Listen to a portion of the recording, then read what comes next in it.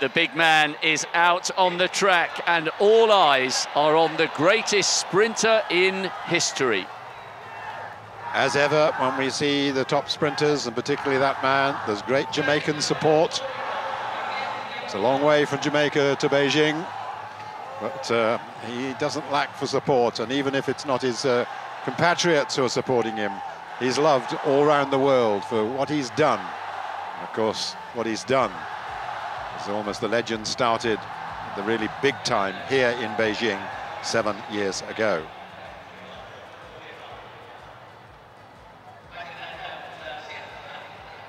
Well, we are scheduled to have this race start in four minutes' time.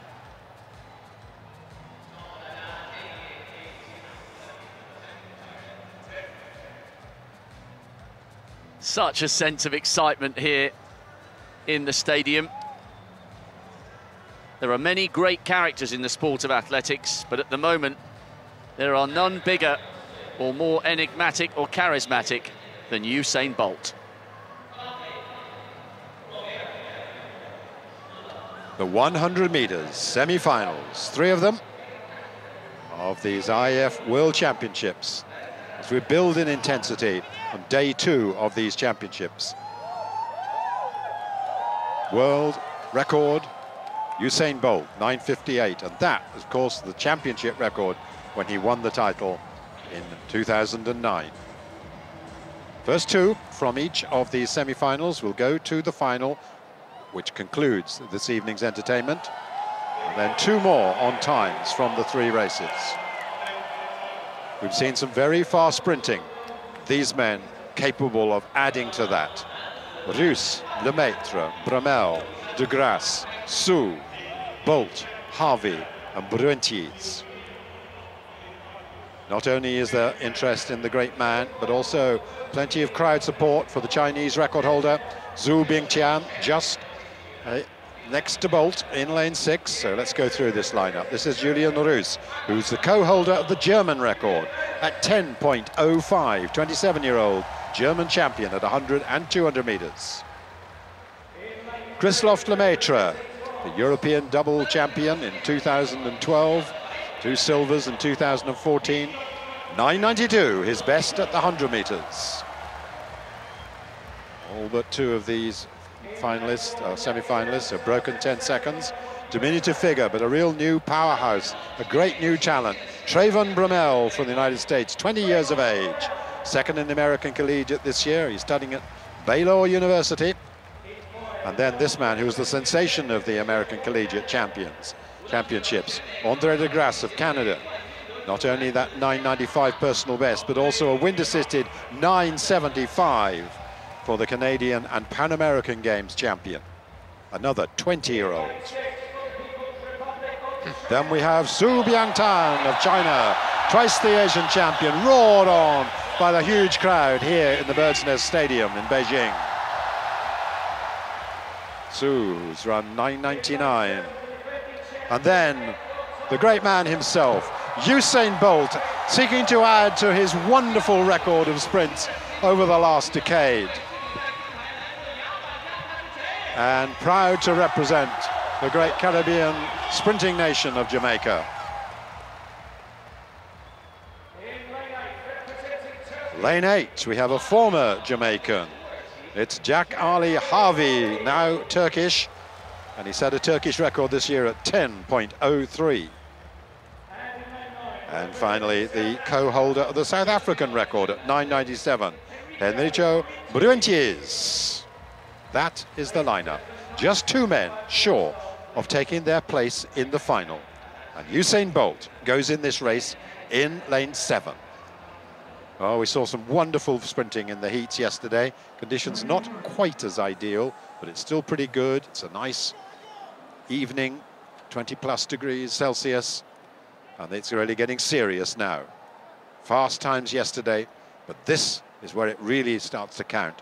This to see who will take place in the final.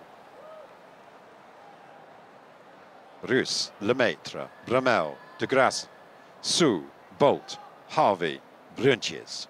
Semi-final number one, men's 100-meter hurdles of these 2015 World Championships.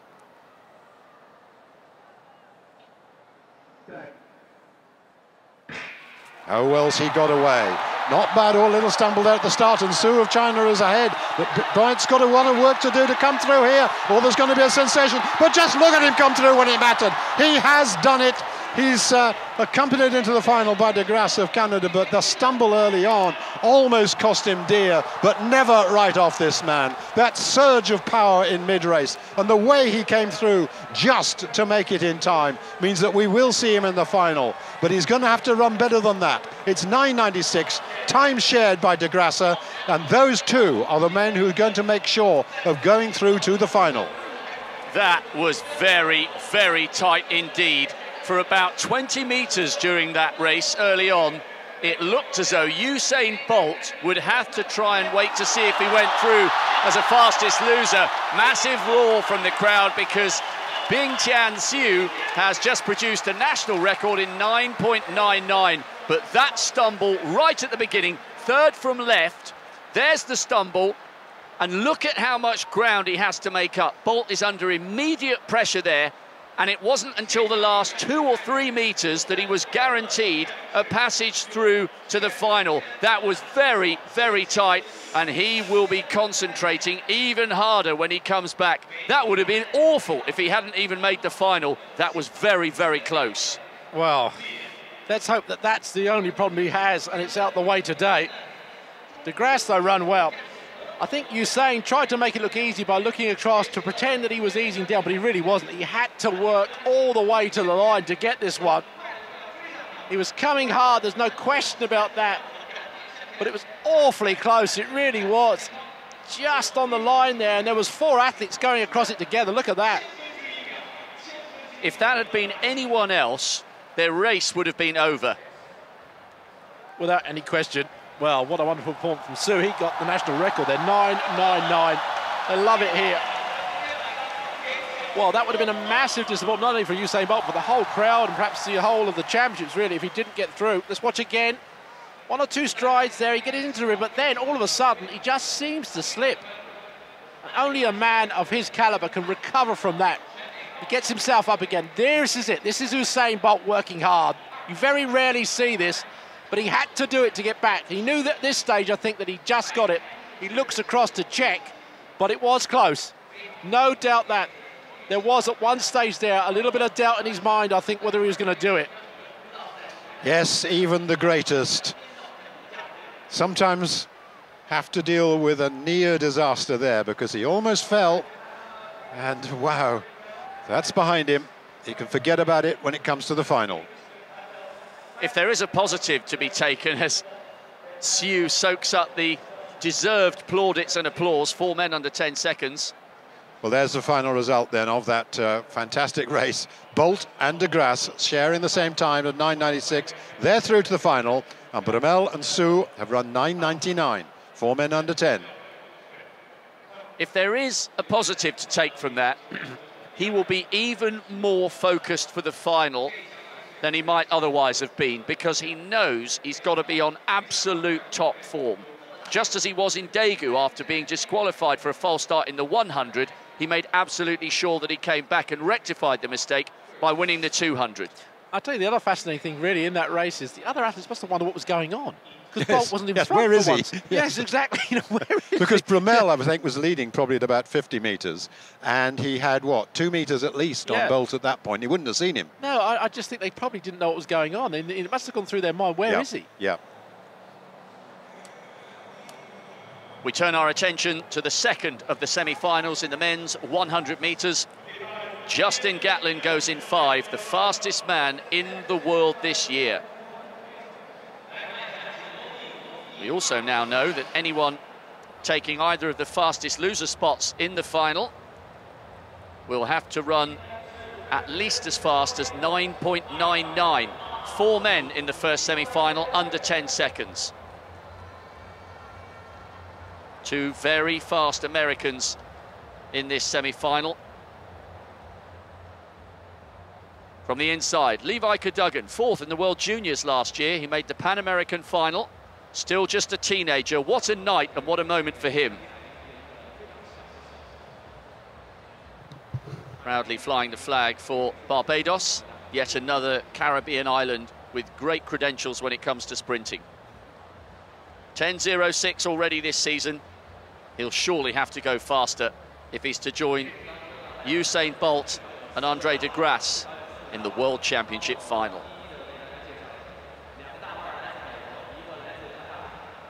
Representing South Africa, joint record holder Akani Simbine won the World Student Games earlier this year, just fifth in the Commonwealth 200 metre final last year, but he's an improved athlete this season, hence he's gone under 10.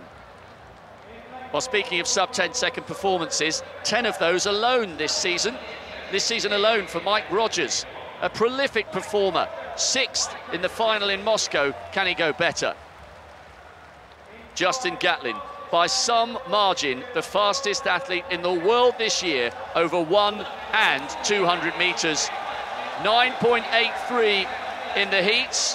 What can he do here in the semis? Pumped, focused and ready, as he always is, a lightning quick starter. Aaron Brown, semi-finalist in the Olympics over 200 metres, semi-finalist over the one in Moscow two years ago, 23 years of age.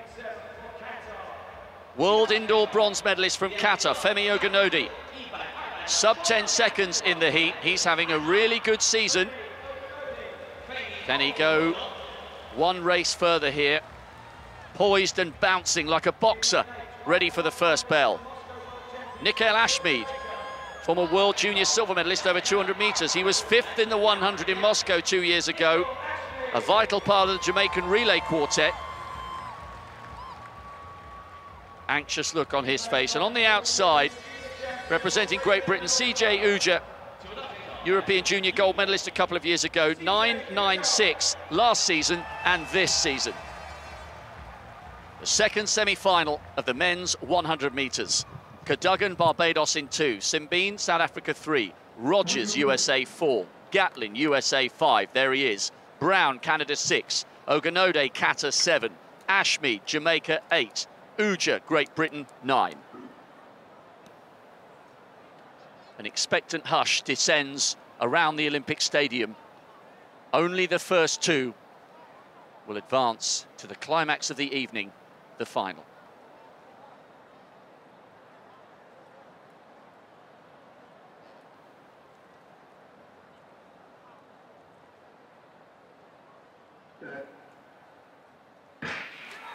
A clean start. Gatlin usually gets away well, and he's done so again here. Ashmeade trying to get into his running. Ogunode coming away, but it's Gatlin and Rogers by quite some margin. 9.77. And once again, he is underlining his credentials as at least equal favourite with Usain Bolt for this title. And on the evidence of the first semi-final, you might argue he is the overwhelming favourite in his own right. 9.77 confirmed, 9.86 a season's best for Mike Rogers in second place. Ogunode will not have a fastest loser spot. He was third in 10 flat. That was very, very impressive from Justin Gatlin. His season looks as though it's getting better and better. The fifth time in seven races this year, he's broken 9.8. Great run, faultless run compared to, to uh, Usain Bolt in the previous race. Got a great start, no problems at all. Looking relaxed, if anything else. He's, he's still looking as if he could go a little bit faster if he has to. Slow motion shot from behind. Gatlin here at this stage really starting to pull away very, very comfortably indeed. They were miles clear of the rest. It's a slight ease down there towards the line, about five metres or so. So, yeah, a little bit still in the tank. Not much, maybe, but with a time of 9.77, you'd expect that. Season's best for Rogers, too, behind him. 9.86. He has been so consistent this season, and that continues here.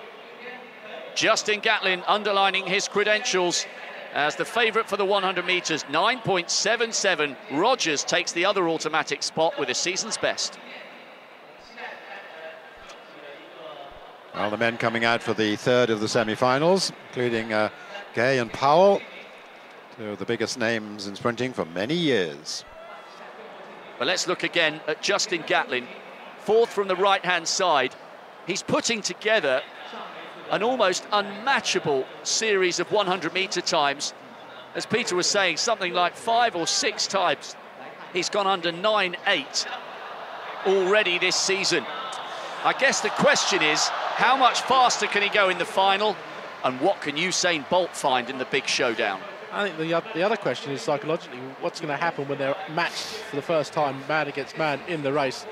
Who's got the ability to deal with that and not tense up? Well, here's semi-final three of that uh, 100 metres.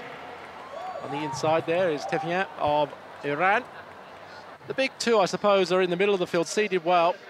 That's Tyson Gay, United States, and Asafa Powell, as we said earlier. But to Jimmy Vicaut of France, uh, he won his heat and is the co-holder of the 100-meter record. He looked really good when he won his uh, heat, heat five. Here's Tyson, former world champion. Looked very good in heat two, won it very comfortably indeed. Second in Monte Carlo. Already this year, run under that uh, magic 9-9 with that 987.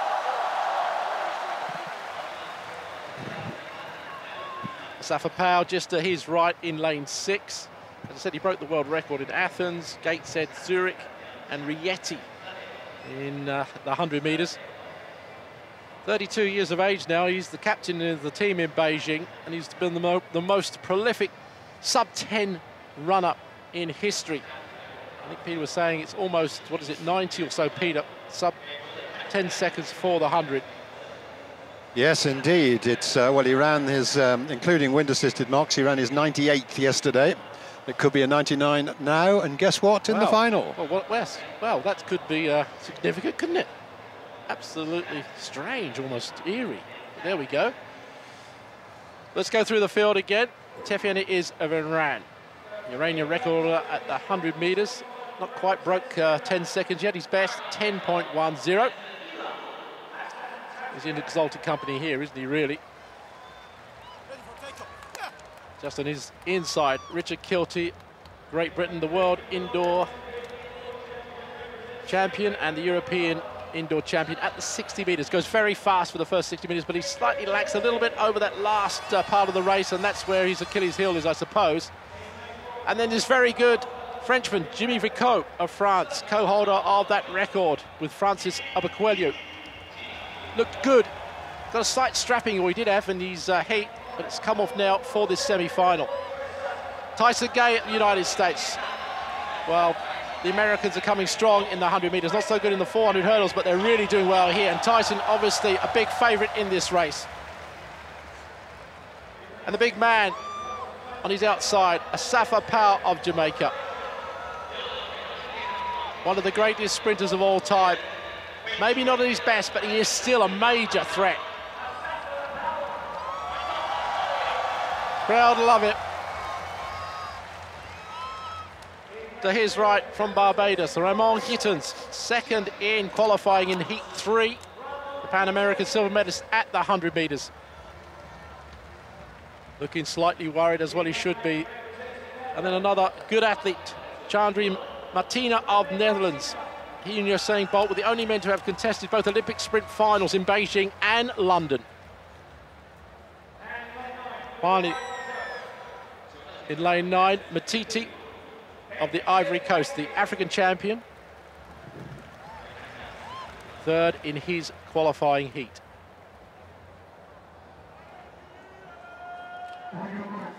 all eyes really, I suppose, on the middle lanes, but you never know really. Tyson Gay always takes that final sip of water before he goes down to the blocks. Does this every time, raises his arms. It's a ritual. It's what most athletes seem to have in the 100 metres. They like to be absolutely perfect when they go down to the blocks. Taftian, Kilty, Vicaut, Gay, Powell, Gittens, Martina and Matiti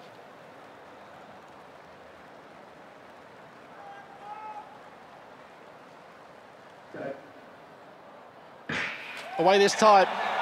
And Gay got a good start. Gittens also got a good start. But in the middle of the field at the moment, it looks like Powell and Tyson Gay coming through. Tyson Gay's getting it. Powell maybe on the line. And Vicaut, I think, in third place at the moment. Winning time, 9.96. Wow, cameras focusing on Gay, but it was close again in that race. Slight headwind, minus 0.4 shown on the wind clock. Uh, uh, They're all looking up at the scoreboard, Peter. It's not Yep. uh, straightforward, and they've given it to Tyson Gay. Well, the reason the crowd are getting excited is because Jimmy Vicaut has finished in third place in 9.99, which means we have three athletes in fastest loser spots, all on the same time. Bingtian Su of China, Trayvon Bromell from the first heat in 9.99, so all three of them are tied, and potentially there's only room for two. not necessarily. This is a nine-lane track. But normally they would now look at thousands. What you do, I mean, that is the qualifying condition, so I'm sure that will happen. They'll see on thousands who, which of the nine nines is quickest. Anyway, let's get back to the race itself. Tyson Gay, I think, was working hard. Asafa Powell come really well at the end. The last few strides, he was relaxing through and just missed out, I think, on dipping. If he'd have dipped, it would have been even closer. I think Powell was under a little bit of pressure because you called it correctly, Steve. Gittens of Barbados got out really, really hard. So Powell found himself behind on his left with Gay, behind on his right from Gittens, and it took the Jamaican a little longer to get into his rhythm than he perhaps would have liked. Gittens got out brilliantly. I think Powell had to work very, very hard to ensure automatic qualification there. The camera angle is deceptive here. It's following them, really. And it looked at the beginning when we saw the race that actually Gay led all the way. But I think maybe at some stage there, it was only over the last sort of 50 metres or so that Gay started to come ahead. Powell was closing him down again. Was preciously close. None of those men, I don't think, had any more to give in that race. Whereas we saw previously the relaxed performance of some of the other athletes. There it is, the confirmation. 996 for Tyson Gay. Safa Powell's 997. And as Rob's pointed out, Jimmy Vicaut there in France, 999. And so while we're not absolutely certain who will be the eight men to contest the final, one thing we do know, they will all have broken 10 seconds in their semi-finals.